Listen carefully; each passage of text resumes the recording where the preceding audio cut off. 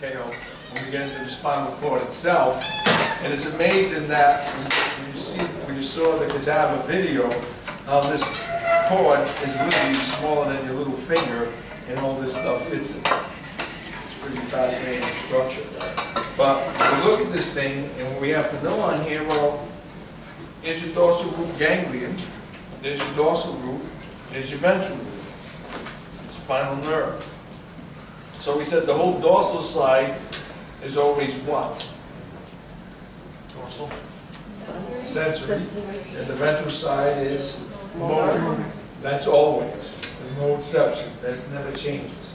So the back part of your spine takes care of sensory impulses, the anterior part of your spine will take care of motor impulses. So again, dorsal root, dorsal root ganglion, what's a ganglion? It's where they meet? It's a bump, but why is it a bump? Because they, it's like a little extra thing that connects it.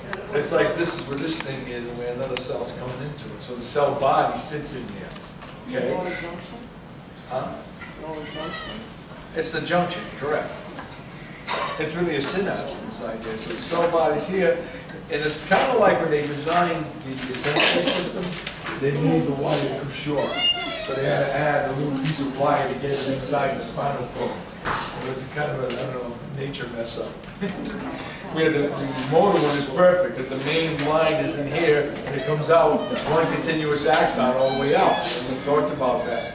Where this one has, you know, here it has double axons, an axon coming in, so then a small axon coming in here to feed on an interneuron. We went over that. So the, the H looking or butterfly is normally your gray fibers, and that would be known as the horn area. And the white would be the outside area, which is normally white because it's myelinated, and that would be the funiculus area.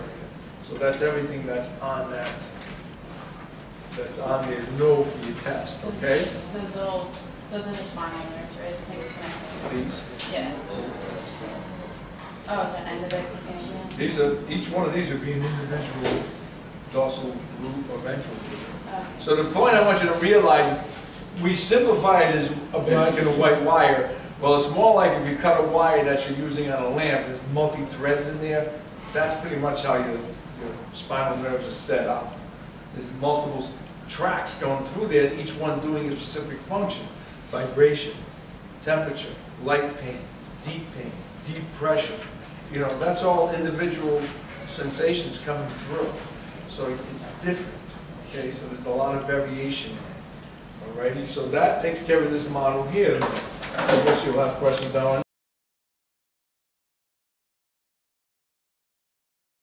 This guy here, we'll take him apart. So you can see some detail about him. But when you look at this thing, this is a true neuron. Bless you. A uniaxial nerve. So this would be a nice motor neuron. And there's my cell body. And then here's, so the light brown color in the middle would be a true axon. For this whole thing's the cell body, and the pink circle would be the nucleus, and these would be your dendrites that are going to take on the information. The yellow coating around it would be what's coating the nerve, the myelin sheath, the myelin sheath, and these little pink cells, those are your Schwann cells that are developing. Okay? So that's pretty much all you need to know on this model. There's a picture in your, good picture in your textbook of it that goes through this in detail, so that's pretty much what you, you're probably the only group that's gonna get asked, so this would probably be at the end of the test.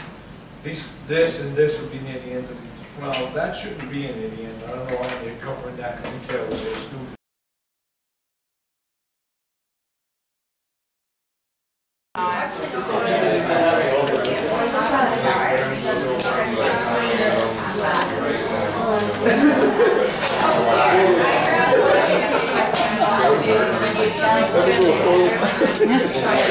Hey, wise guy. Tina Turner.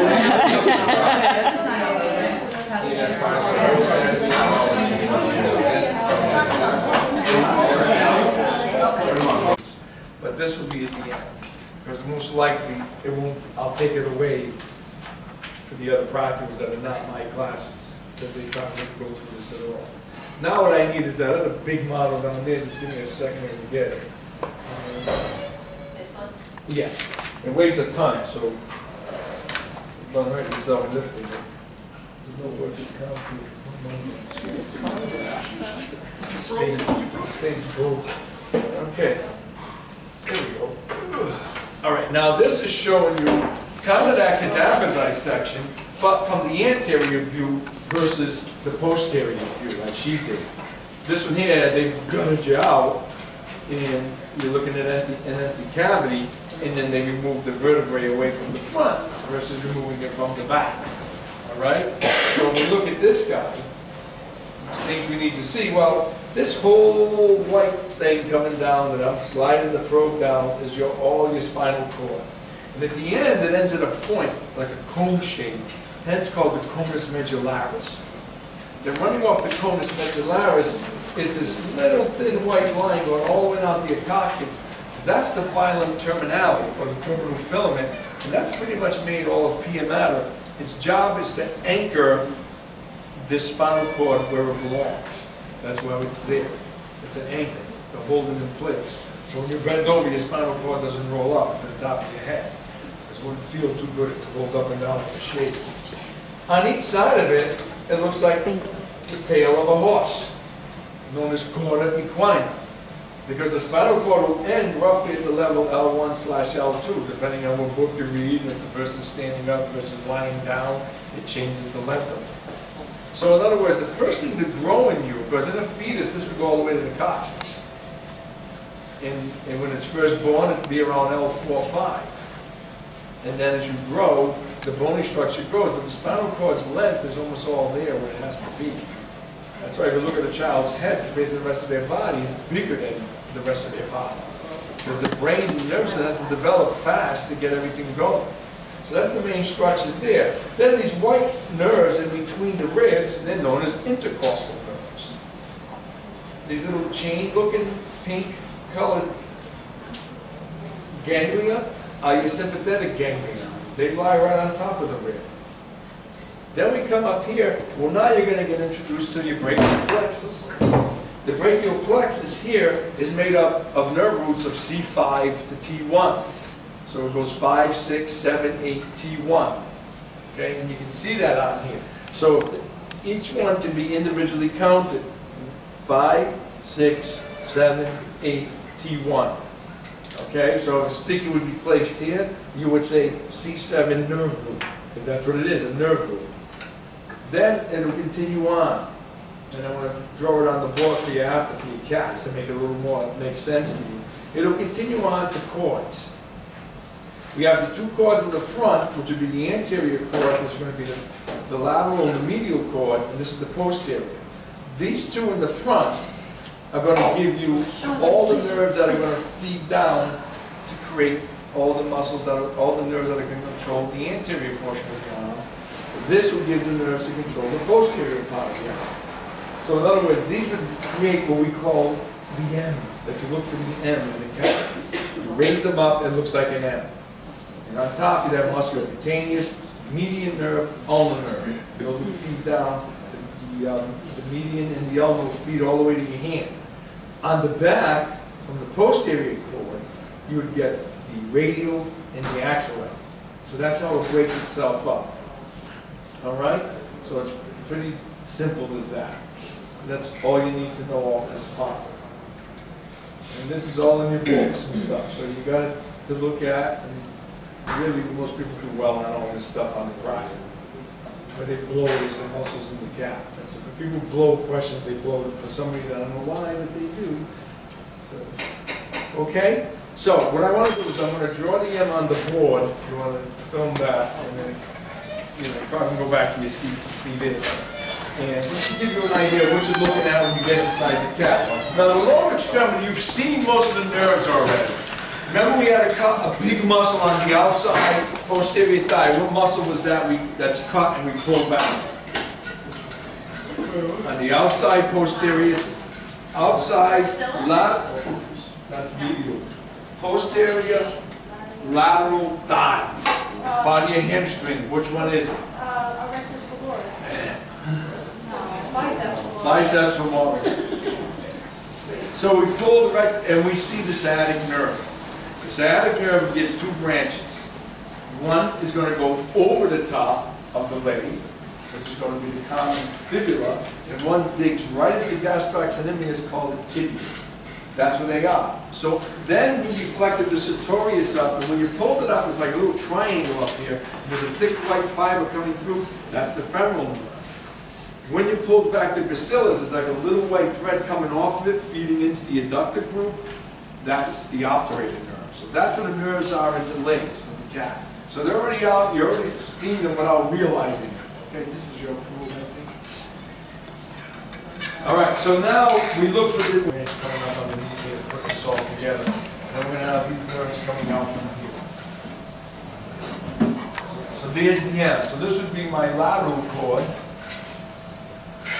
And this would be my medial cord.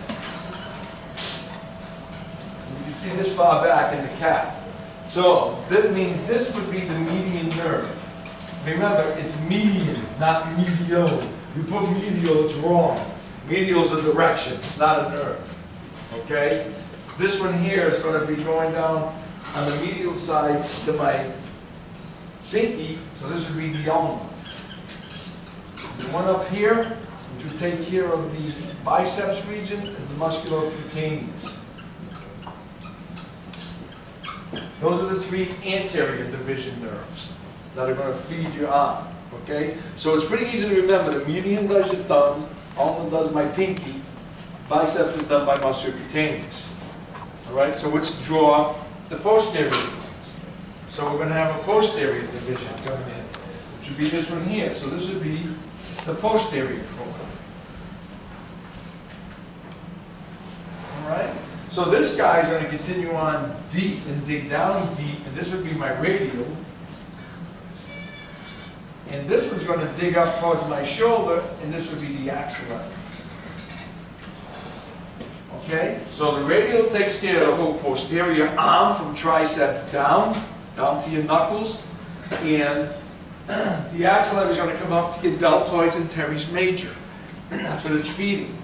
So just keep it in your head median, if the person loses their strength or oppose the thumb with strength with true carpal tunnel, so the median, ulna, hold it back, radial, musculocutaneous, axillary.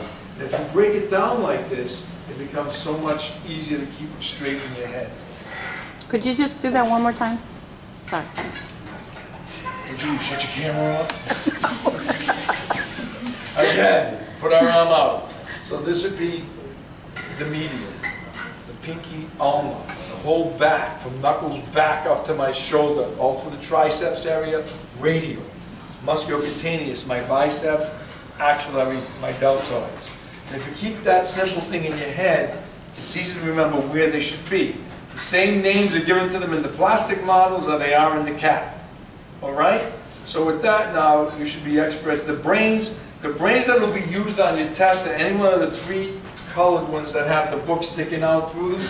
The book is a guide numbered. You look at the things I want you to look at, and then you look at the color part in the brain, and it'll tell you what you're looking at. Okay? So we'll let you get started, and then we'll come around and not help. All right? You're doing now? The nerves? Yeah, the nerve. All right, so let me get two probes.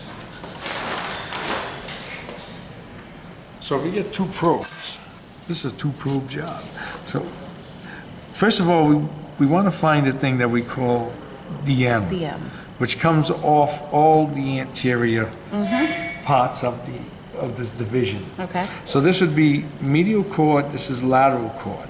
They mm-hmm. come together and they form musculocutaneous, median nerve, ulnar nerve. Gotcha. Then we go into the posterior of this cat. The, from the posterior cord, we have radial nerve, which is going to mm-hmm. take care of all the back of the arm. Okay. And coming way up in here, which we can't find it now, we have axillary nerve Okay. coming into the shoulder. Okay. So axillary and radial is the posterior, the anterior ones are the, with your M, which Okay. make up musculocutaneous, median, ulnar. Now we come down into the, into the lower leg. So when we take this uh, gracilis and reflect it back, here's your obturator nerve right here. Okay. When we reflect back uh, sartorius, here's femoral nerve. Okay. Right here. When we reflect back biceps uh, femoris, here's the sciatic, Mm-hmm. common fibula, tibial. And that's all your nerves in the cat. You need So it's sciatic here Up and here, and it when it splits, it, it, it, the sciatic creates the tibial and the common fibula. It Okay. branches off the sciatic, Okay, okay? all right, so sciatic, common, um, uh, Common fibula. fibula and Tibial. tibial. Okay, perfect. That's Okay. it, you got it. So you got nerve.